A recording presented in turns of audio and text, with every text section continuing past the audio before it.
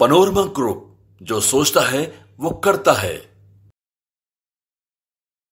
नमस्कार, भारत लाइव देख रहे हैं आप। नीतीश कुमार 2024 के चुनाव की तैयारी के मोड में पूरी तरीके से अब सामने आ रहे हैं। भले इंडिया गठबंधन में सीटों का बंटवारा ना हुआ हो, लेकिन नीतीश कुमार ने अपने मन में बंटवारा कर लिया ये बातें लगातार हम आपको बता रहे हैं। इंडिया गठबंधन से नीतीश कुमार की असहजता इस बात को इशारा कर रही है कि नीतीश कुमार कुछ बड़ा करने के फराक में लग चुके हैं। ये बात अगर तेजस्वी यादव माने ना माने, उनके पिता लालू प्रसाद यादव माने या ना फिर माने, या फिर इंडिया गठबंधन के लोग बात बात माने या ना माने, लेकिन नीतीश कुमार अपने मन के राजा हैं। वो जो मन में आएगा, वो करेंगे और इसके लिए उन्होंने, देखिए, बजाबता 2024 का प्लान तैयार कर लिया है। भले कांग्रेस सीटों का बंटवारा नीतीश कुमार के साथ ना करे, भले कांग्रेस ये कहे कि हम सीट का बंटवारा अभी मंथन करने के बाद करेंगे, लेकिन नीतीश कुमार ने बड़ा दाव कर दिया है। ललन सिंह से मुलाकात नीतीश कुमार की होती है।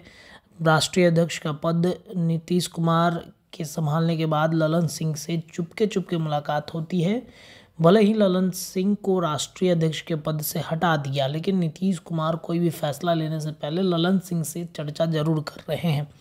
और इन चर्चाओं के बीच में ललन सिंह से मुलाकात, ताबड़तोड़ बैठक और बैठक के बाद जो फैसला लिया कि कांग्रेस के सीट बंटवारे से पहले नीतीश कुमार ने अपने लिए सीटों का बंटवारा कर लिया है और इस वजह से अरुणाचल प्रदेश में उन्होंने कैंडिडेट के नाम की घोषणा कर दी है। कैंडिडेट के नाम की घोषणा करने के साथ ही साथ ललन सिंह को बड़ी ज़िम्मेदारी 2024 के लिए नीतीश कुमार ने दे दी है। नीतीश कुमार ने कह दिया है कि अब किसी भी कीमत पर हम तैयारी अपने स्तर पर करेंगे। हालाँकि एनडीए की तरफ़ आएँगे तो स्थितियाँ परिस्थितियाँ क्या बदलेंगी, लेकिन उससे पहले आपको बता दें कि ललन सिंह पर नीतीश कुमार आज भी उतना ही भरोसा करते हैं जितना वो राष्ट्रीय अध्यक्ष के पद पर रहते हुए करते थे।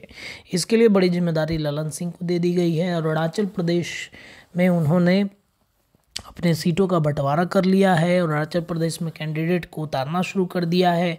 ऐसे में सवाल ये खड़ा होता है कि क्या वाकई में नीतीश कुमार की असहजता इंडिया गठबंधन के लोगों से दिख रही? है अपने लिए उन्होंने तैयारी तो कर लिया है। कांग्रेस क्या करती है?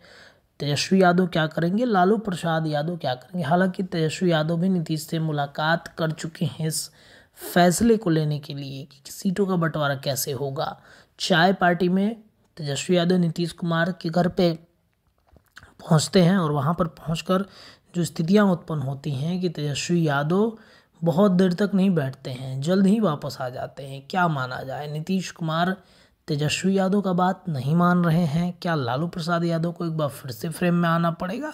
कई परिस्थितियाँ बदल रही हैं। चर्चाएँ लगातार हम करेंगे। अरुणाचल प्रदेश में तेजस्वी यादव ने जो कैंडिडेट के नाम की घोषणा की है, उसके बाद तो ये स्थिति स्पष्ट हो गई कि अब नीतीश कुमार ने अपने लिए कुछ बड़ा सोचा है। पनोरमा ग्रुप जो सोचता है वो करता है।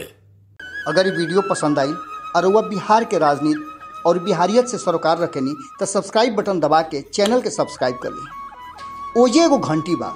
ओकरा बटन दबा देला से कुल सटीक और मारक खबर रुआ मुफ़्त में मिल जाई। अगर रुआ पत्रकारिता के हमनी के नया प्रयोग में सहयोग कर चाहतानी तो ज्वाइन बटन दबा दी। पेटीएम नंबर नोट कर ली nine three eight six eight one six seven double zero. धन्यवाद।